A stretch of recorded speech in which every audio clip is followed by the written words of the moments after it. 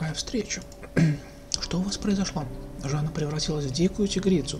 Она словно Олекта или Тисифона. Была так божественно прекрасна в своем гневе.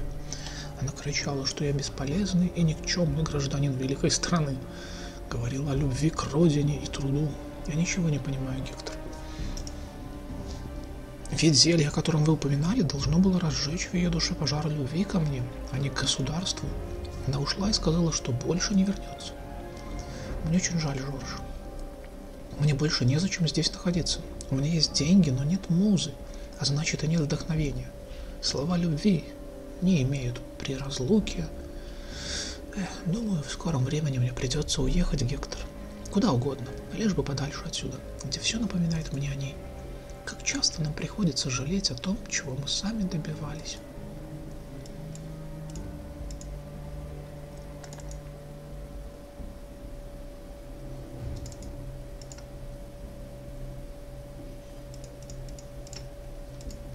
Ничего про зелье это сказать не удается.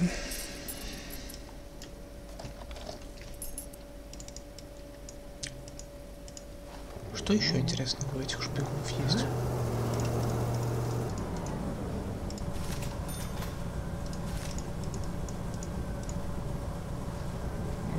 Четыре предмета еще.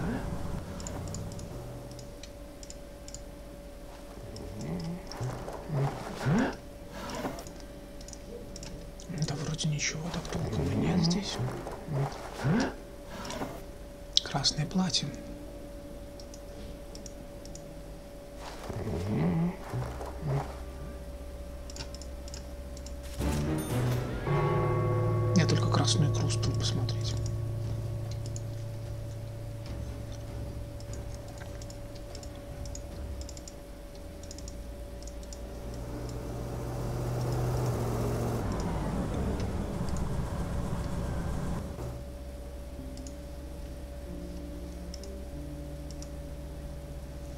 Здравствуйте.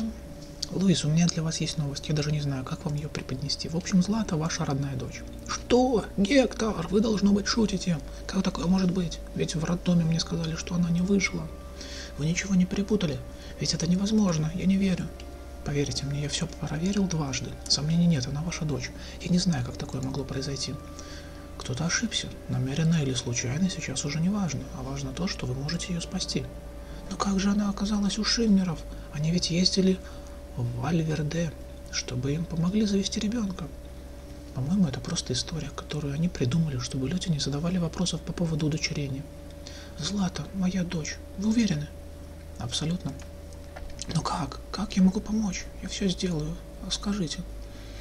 Она в крайне тяжелом состоянии, ей срочно требуется донор.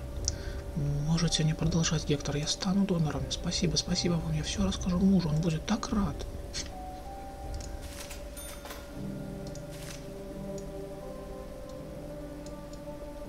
Там наверху сценка, где один шпион бьет свою супругу. Я не думаю, что муж будет рад, потому что уже с ним разговаривали.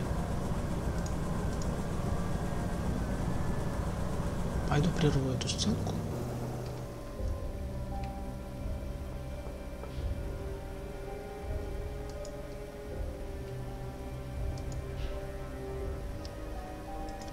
Я видел, что муж вас бьет. Это не ваше дело, Гектор. Я прошу вас не лезть в наши дела. Вы ничего не знаете, не понимаете, я не намерен вам ничего рассказывать. И самое главное, Гектор, лучше вам просто забыть то, что вы видели, и не подсматривать более за государственными служащими. Но это мой долг. Прошу вас, Гектор, не спорить. Я очень люблю моего мужа. Он прекрасный человек. Это все, что вам нужно знать о нашей семье. А выходи, боец.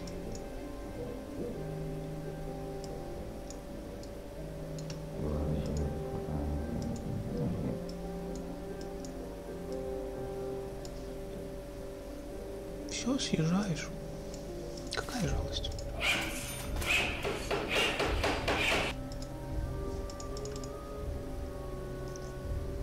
Ищу квартиру и три мотка медной проволоки.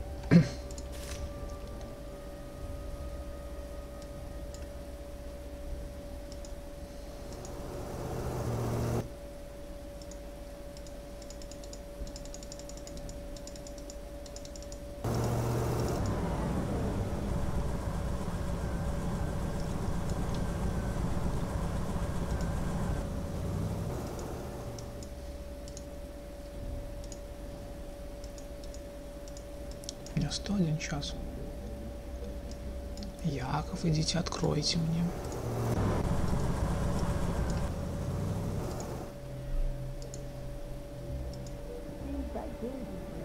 Здравствуйте. Яков, мне нужно с вами поговорить. Дело носит крайне деликатный характер и касается вашей семьи. Я весь внимание.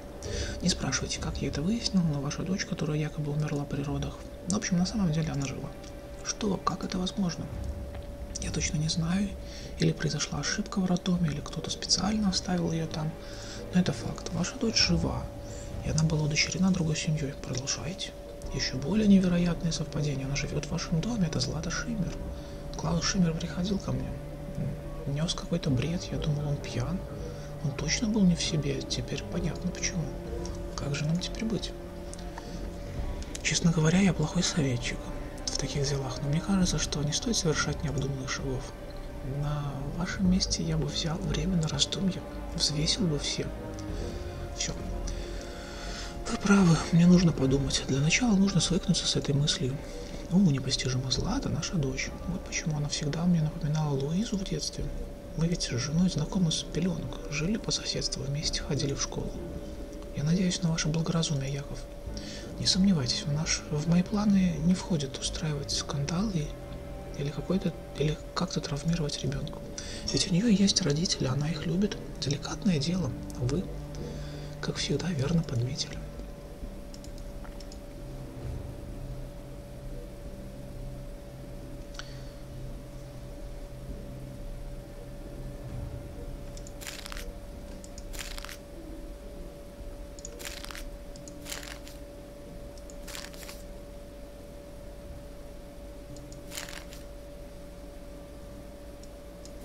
От этого телеграмма это пришла.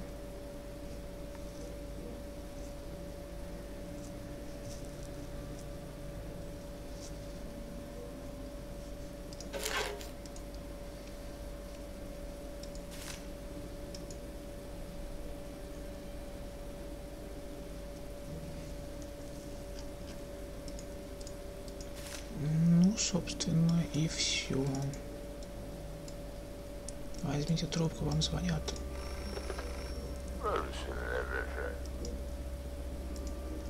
Гектор Медина, Министерство сбора информации. В вашем доме живет Иоганн Бесслер. Соберите о нем информацию и напишите характеристику. Он подал запрос на участие в национальном форуме изобретений на получение грана... гранта. Требуется проверить его подноготную и установить индекс благонадежности. Вас понял, приступаю к работе.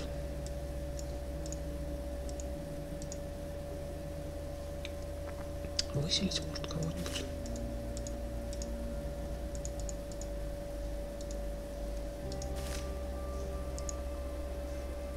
А, вот там книжку читал. Разрешите представиться, я Гектор Медин, управляющий этим домом.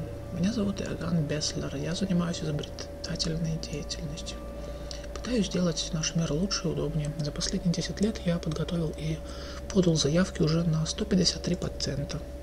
А сколько патентов одобрено? Пока что всего 4, но я еще в начале моего пути к славе величайшего изобретателя эпохи.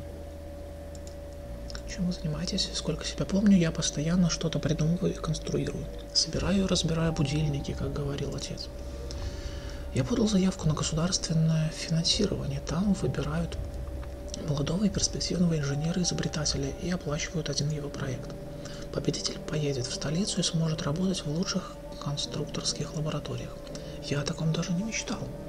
Уверен, у вас все получится. К сожалению, это зависит не от меня. Все, все президенты тщательно изучаются, их несколько сотен. Говорят, изучают даже родословно, чтобы не учинить скандал, как три года назад. Что за скандал?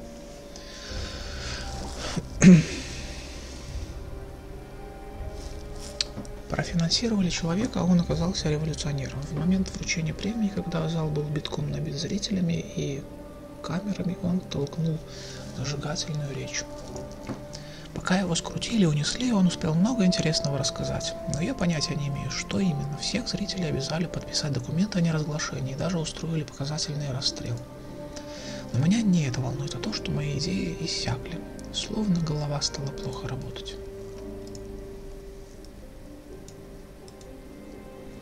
Вы думаете о военных действиях? Я не думаю, я изобретаю.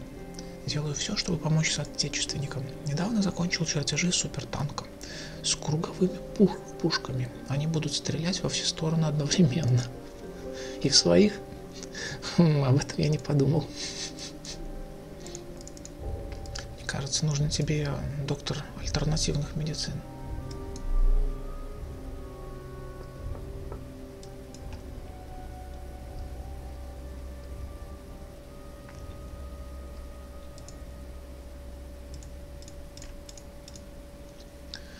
Средства для улучшения воображения. Один из наших соседей, Иоганн Беслер, жалуется на упадок сил и притупившееся воображение. Есть ли у вас что-то для улучшения работы мозга, усиливающее кровоснабжение? О, вы по адресу экстракт конской ноздри, смешанный с выжимкой из простаты кабана. Отлично стимулирует мыслительный процесс. Называется «убойный Декарт». Иоганн ждет столько гениальных идей, что я уверен, он даже не справится с их потоком. Пить строго утром, разводить водой 3 капли на 50 литров. С вас 500 баксов. А вот деньги.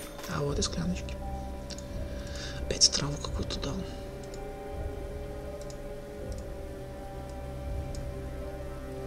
Так, давайте сейчас поговорим с бойцом.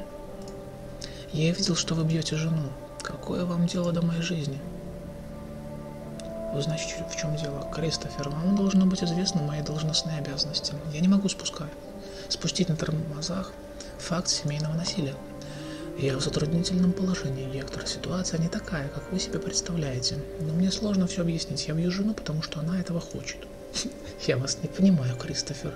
Это шутка? Нет, это не шутка. У жены эмоционально тяжелая работа, а дома она... Вам следует знать, что я никогда не причиню ей вреда. Это трудно поверить, но я против насилия. Его и так слишком много в моей жизни. Что вы имеете в виду? Я более 15 лет работаю в полиции. Сами должны все понимать. Народ боится полицейских. Мои подчиненные – меня. Я – своего шефа. Шеф – старшего начальника, тот министра. И так в каждой государственной организации. Причина, причинная цепь жестокости и страха. Кто бы знал, как сильно я устал от своего, всего этого. Признаться, я не ожидал от вас.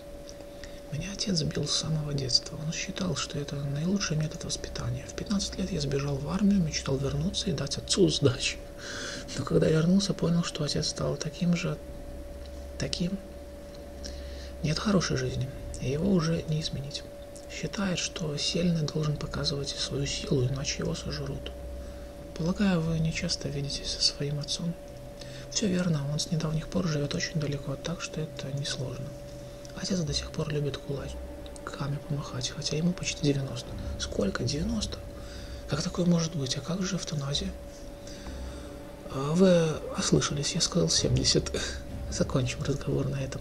Постойте, мне пришло приглашение, я не доживу до осени. Прошу вас. Повторяю, Гектор, разговор окончен.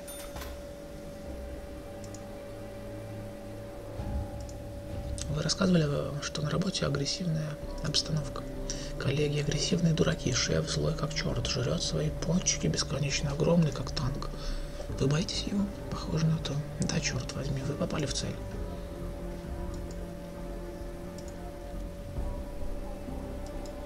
У меня смешанные чувства, Гектор. Мне жаль, что Злата досталась нам через страдания этих людей. Поймите меня правильно, вы не, за... не забрали у них ребенка, нам его выдали по закону. Выдали, разве детей выдают, как сахар по талону? Разве это по закону? Вы правы, нам пришлось, скажем так, срезать несколько углов на пути к удочерению. Но это касалось лишь нашего положения в очереди на детей. Если бы мы знали, что Злату заберет Манишиков, а им скажут, что она умерла в природах, мы бы никогда. Мне кажется, что вы не до конца честны, Клаус, и в первую очередь не до конца честны с самим собой. Да чтоб вас, да, мы бы все равно забрали ее, да. Злата, она, она спасла нас, наш брак, наполнил нашу жизнь смыслом. Без нее я не знаю, как мы будем жить без нее. Уходите, Гектор.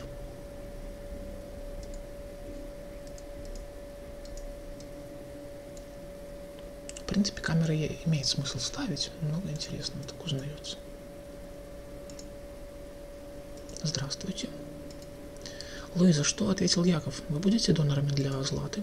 Я в отчаянии, Гектор. Яков сначала был очень рад этой новости, но когда узнал, что кому-то из нас нужно быть донором, страшно рассердился. Сам он отказывается, ссылаясь на состояние нашей медицины. Говорит, что врачи гарантированно угробят и донора, и пациента.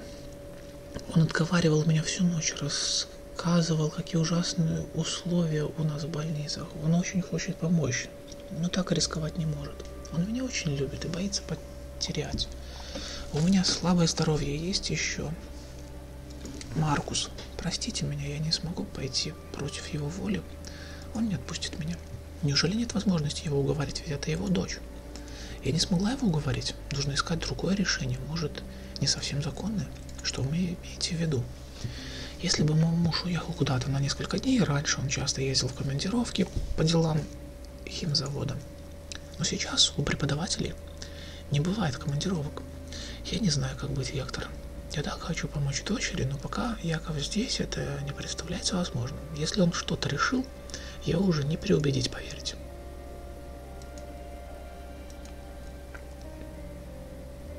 Почта пришла. Ученые из Министерства конструирования будущего выступили с сенсационным заявлением. Они установили связь уровня патриотизма с биохимическим составом крови и ДНК граждан. Нас ждет славное будущее, товарищи, без предателей, без ненависти, без боли. Искореним врагов народа на генетическом уровне. На улицах города в скором времени появятся добровольно обязательные пункты приема крови. Явка строго обязательна. Сенсация. Наш мудрый вождь всего-навсего старый вампир. Только этим можно объяснить эту страшную новость. Грядут генетические чистки населения. Берегитесь заражения во время сдачи крови. Бегите.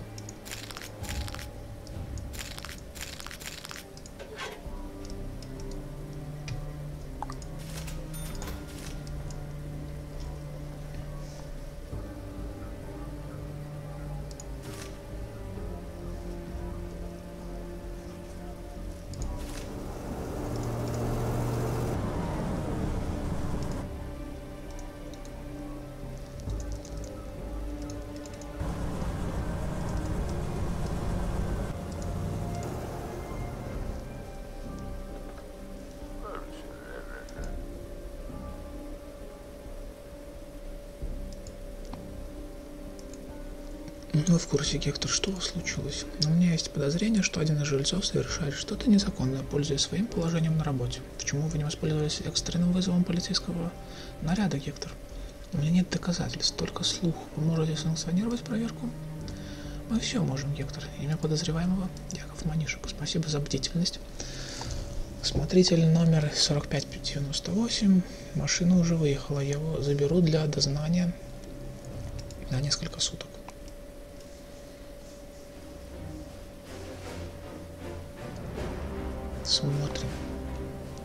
Как делаются добрые дела. Ну, бух, столкнулись вместе, нет. Ждут, когда он вернется с работы.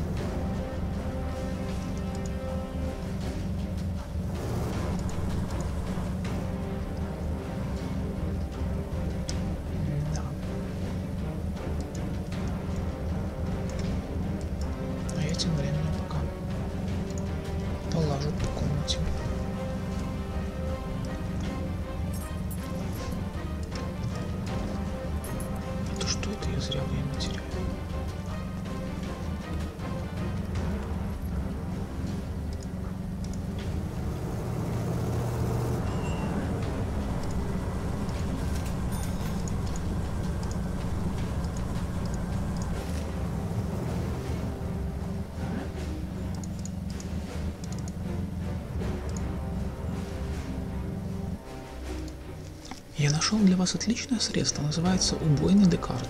Пить строго утром, разводить водой, три капли на 50 литров, и гениальные идеи снова будут будоражить ваше воображение. Три капли на 50 литров? Да где я вам столько воды найду?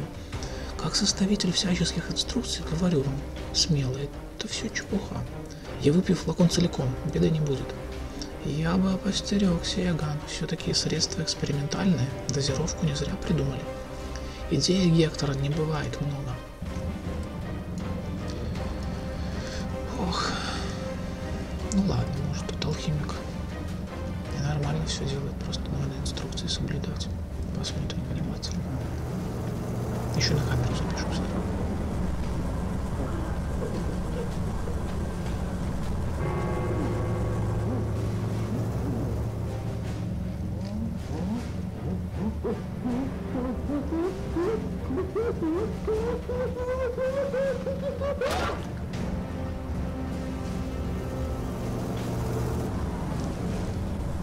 Убойный Декарт.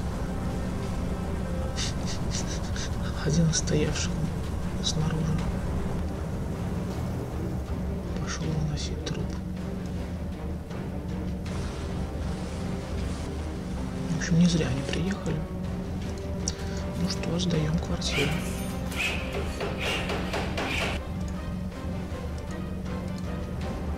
Писатель, заселяйтесь.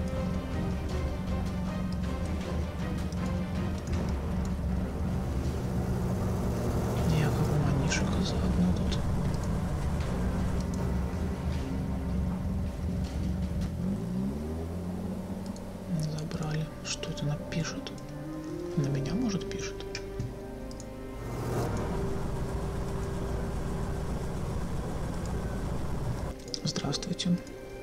Луиза, вы хотели поговорить? Гектор якобы арестовали, его забрали. Я даже не знаю, почему и зачем. Надеюсь, его скоро отпустят, ведь он преподает в школе для детей министров. Луиза, это звучит ужасно, но это ваш шанс. Теперь вы можете спасти девочку. Отправляйтесь в больницу, скажите ему, что вы согласны стать донором. О, вы правы, да. Скажите мужу, что я делаю это ради наших детей.